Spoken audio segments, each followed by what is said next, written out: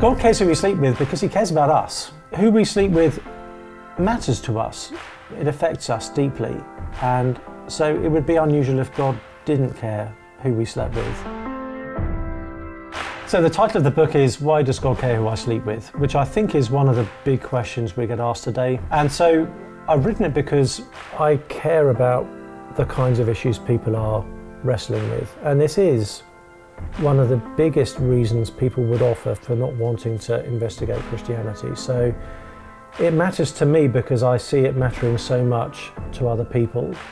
Speaking publicly on this issue for the last several years has really given me a sense of where people are at and where the confusion is, where the questions are. And so, really, it's a book trying to introduce people to what Jesus thinks about these issues and why what he says is so compelling.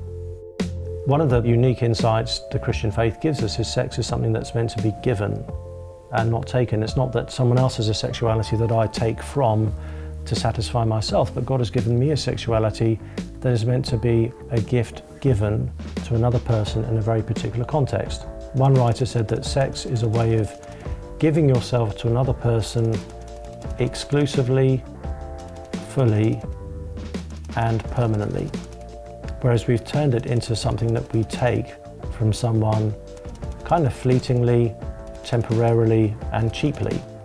We've really turned it around from what it's designed to be, what it's designed to mean, and therefore what it's designed to do for us into to something that's almost a photo negative of that. That Christianity has sexual boundaries is not unique. Everyone has sexual boundaries. The question is, where do we draw those boundaries and what is the basis for drawing them there?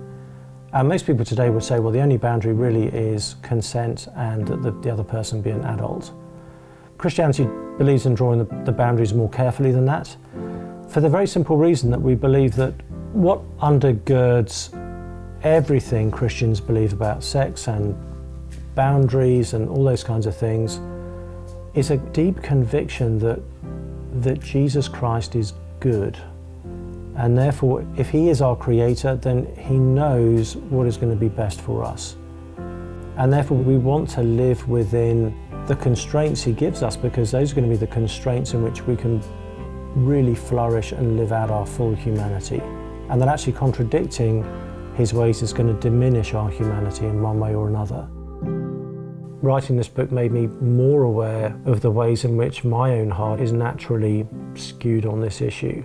So I found it very challenging just personally. It was also actually encouraging. One of the chapters I really enjoyed writing was What If I've Messed Up?